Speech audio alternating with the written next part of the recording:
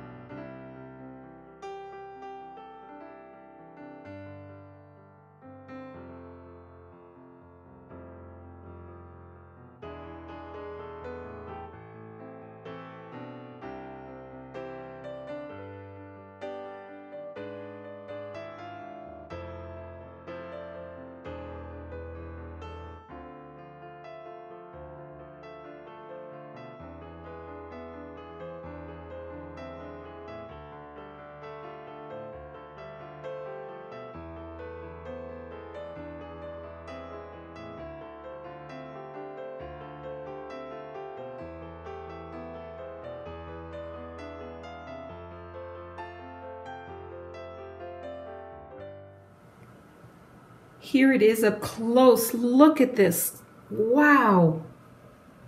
I love it. Wow. It is beautiful. This was a bit of an experiment. I have a 36 by 60. It is incredibly big. And I wanted to try out these colors, um, especially this new gold. And I think it looks amazing. So I will definitely be going ahead with that large. Look at that. With that large painting. Mm, it's not focusing. There you go. Just stunning. This is only a 12 by 12, like I said. But wow, does it ever look beautiful. There it is.